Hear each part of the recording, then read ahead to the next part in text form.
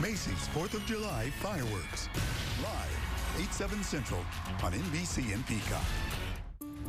I can't wait to see